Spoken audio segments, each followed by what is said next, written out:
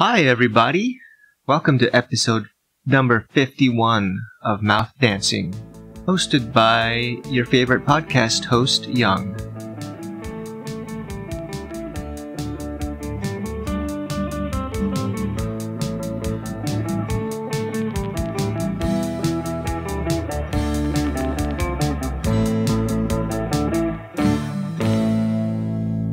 Thank you for tuning in every week, week after week. 51 weeks. It's a long time. It's almost a year. There's 52 weeks in a year, so one more week of this and I hit the one year mark. It's a pretty awesome thing if you think about it. If you think about it. But if you don't think about it, maybe you won't realize it's awesome. So you gotta think about it. And I hope you do that then you'll think it's awesome and agree with me that it's awesome and hopefully continue to tune in as you've been doing. I mean, why would you stop doing that, right? Keep the streak alive. Keep the tradition going. That's what uh, America's all about. This week, I really wanted to talk about so-called seafood, which we all eat from time to time, depending on the person, maybe not so much. I know some people don't like seafood, unless it's like deep fried, like halibut or cod, you know, like fish and chips, and they eat it with lots of tartar sauce or ketchup and french fries. And that's pretty much the extent of their seafood consumption. I guess there's also people who like clam chowder, it's basically stuff that's really easy to eat. Like there's not much uh, fishiness or gaminess to it. But I mean, but then there's people who are more adventurous, right? And they eat things like oysters or abalone, shrimp. Well, even shrimp, I think a lot of normies eat that. They're not scared of shrimp if it's like deep fried, you know, like deep fried prawns or shrimp cocktail. But, you know, for the more adventurous, they eat things like sea urchin or exotic kinds of fish, different sea creatures, you know, like sea cucumbers. Oh, there's just so much seafood, it's difficult to name it all at the moment, but I think you get the point. But you know, people sometimes say that sea, you know, food like shrimp, basically like bugs of the sea, right? I think there's really a point to that. They really are closely related to bugs which live on land, right? Like you look at an abalone, certain species, they look pretty much like slugs. Or snails, actually. Snails is better, not slugs. But, you know, they're like mollusks or gastropods or whatever you call them. The only difference is they live in the water. You know, it's pretty much the main difference. I wonder why it is so much more acceptable to eat that kind of animal if it comes from the ocean, but not if it comes from land.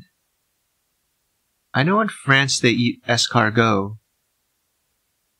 which are snails, but that's not that common still, you know. Most people don't eat that unless they're French and they're eating at some sort of bistro or something, right? I don't even know how often do French people eat escargot. Is it really common? I'm not sure. I've had it once though in New York. It was, I think it was a bistro, a French bistro, and it was just uh, basically tasted like butter and garlic because they use so much of it to cook it, you know. But the texture really isn't that different from lots of seafood that you can get like probably clams or, you know, other mollusk type things. So I wonder why it's so much more taboo. Like, I know in some parts of the world people eat crickets, right? But most people in America, they'd probably be disgusted at the thought of eating a cricket, you know? But how is it that different from a shrimp? Have you ever seen a shrimp? Like a live one? With its shell and everything still on it? They basically look like bugs. I mean, I think they kind of are. They're just like bugs of the sea. Mm, what else is there? Oh, yeah, people. I mean, people do eat like uh, like worms and stuff like that in other parts of the world. Really shouldn't be that taboo. It's just like totally arbitrary. I think when you eat a shrimp or a clam or an oyster, you're basically just eating a sea bug. So get off your fucking high horse. You know your culinary chauvinism is is showing, and I don't like it. Stop being so judgy about people who eat bugs when you basically do the same goddamn thing. I'm gonna fucking slap you across the mouth, you little bitch. You little fucking asshole. Fucking piece of shit. I'm just kidding. I'm not really angry about it or anything. You know, that's not the answer. Violence is never the answer. That's not the way to go about this, right? Just was doing that for a bit of levity.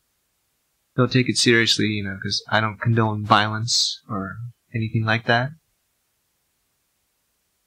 Have you ever heard the expression mental midget? But then I've heard that the midget community, or I don't know if I should even say midget community, I think they like to be called little people, right?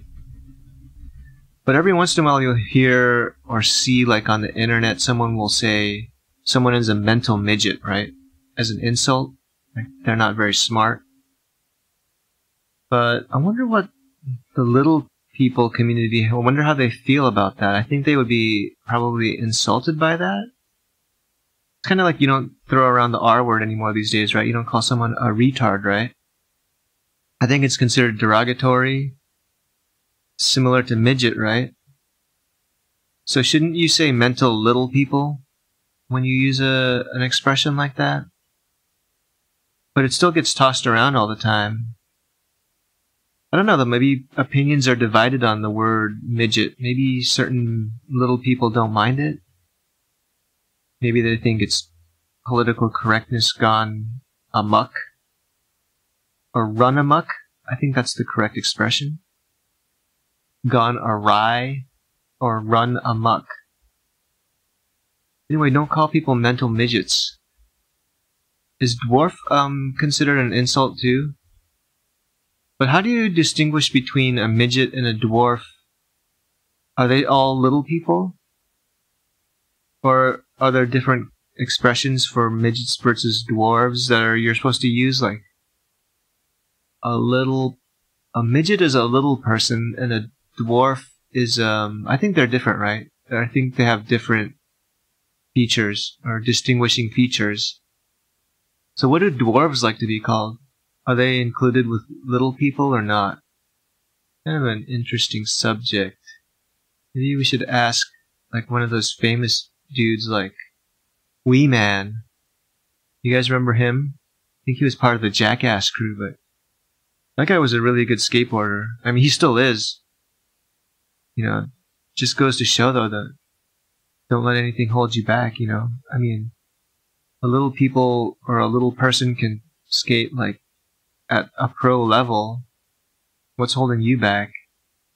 You know? Get your fucking ass cheeks out there and do it, is what I'm saying. I mean, well, it's also not to say that little people are somehow less capable of doing it. That's not what I mean either. But maybe they would be mm, they wouldn't be as encouraged generally to try something like that maybe maybe there's discrimination just like uh you know it used to be that girls were not encouraged to really do sports as much. But now that they're out there doing it you can see that they're just as capable and talented. So that's what i meant. I don't mean that they're inherently incapable of doing it because obviously they can do it at a professional level, you know, way better than a lot of normal people can do it. Actually, I don't know if I should say normal people. Uh, it's like saying that they're not normal, but that's not what I mean either. Um, hmm. People who are proportioned traditionally or than the most common size. Anyway, this is getting a little bit awkward and I feel like I'm digging myself into a hole here, so I'm just going to stop.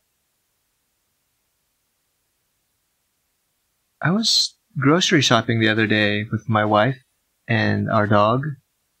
We take him with us when we go grocery shopping and keep him in his dog carrier. I know some people might think that's a little bit wacky because they don't take their dogs with them everywhere. But, but we do. But I was just thinking about how much I love it. I love going to, you know, Trader Joe's or Whole Foods or whatever grocery store and buying stuff. I guess I'm not as critical of it as like some people are. You know that Clash song, Lost in the Supermarket? I'm all lost in the supermarket. I can no longer shop happily. I came in here for the special offer. A guaranteed personality. I'm all lost. I think that song is um, criticizing consumerism, right? That's what it sounds like to me. It's like saying you can't just buy a personality, you know? You can't buy happiness. But, I don't know, but still going grocery shopping is pretty awesome. There's so much delicious food you can just buy in one place. I think it's different in America. I mean, not America. I think it's different in Europe. I think you have to go to like a different store for every kind of food. Like, if you want cheese, you have to go to the cheese store. If you want bread, you have to go to the bread store. And if you want butter, you have to go to the butter store. But in America, you could just go to the grocery store and everything's in one spot. That's so convenient. Probably comes at the cost of like burning down entire villages in other parts of the world, but it's very convenient for us, right? We get cheap, you know, goods. No one really says goods, do they? Unless it's in some sort of report, you know, like, well, I'm just gonna go get some goods from the store. They used to have like general goods stores, right? Like in the pioneer days. Anyway, I got off track a little bit there.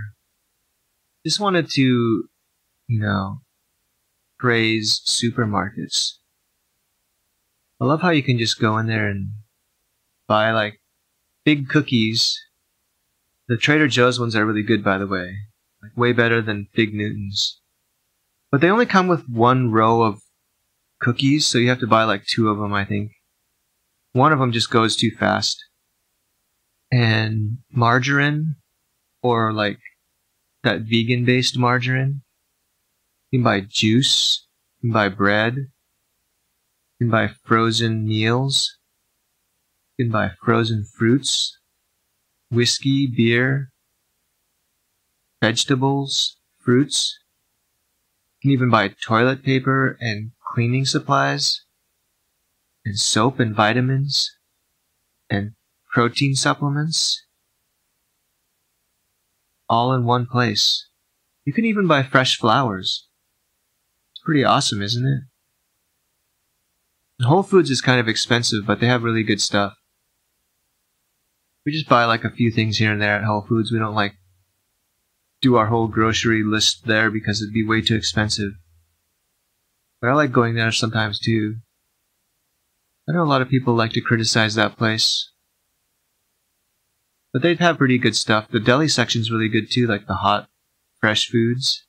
And the bakery. We got some tiramisu and blueberry pie. It's pretty incredible. You could just go to the store and buy that.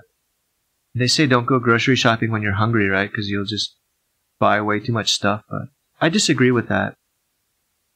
You should go when you're just ravenously hungry and buy all the good shit in there and just feast on that for days or maybe even weeks at a time. Then you don't have to go out and like buy to go meals all the time. That's one um, surefire way to, you know, just destroy your bank account is to eat out every night, which I know a lot of lazy people do. You do that, you're a lazy piece of shit. You need to reevaluate your entire fucking life. That's all I'm saying. But I was just kidding about that too. I'm not judging you if you do that. And I don't condone violence or bullying or just any sort of mean spirited type of behavior. So don't take it seriously. Unless you're a little crybaby, little bitch baby, motherfucker. Piece of shit. Asshole. Whiny little dickhead. Just kidding. Don't take that seriously either. Because if you take things like that seriously, probably means you need to see a psychiatrist. Or maybe a psychologist. Maybe both. Maybe a therapist too. They even have like smartphone apps for that, so you could just do it from home. So don't come crying to this podcast about it. Alright? Just kidding about that as well. This is the just kidding episode. You like it? Let me know. If you don't like it, then just let me know and I'll stop. Or I'll consider stopping. I'm not gonna definitely stop because I can do whatever the fuck I want and you can't tell me what to do. Just kidding, I'm not really that hostile. Anyway, thanks for tuning in, and I'll see you next week. Bye.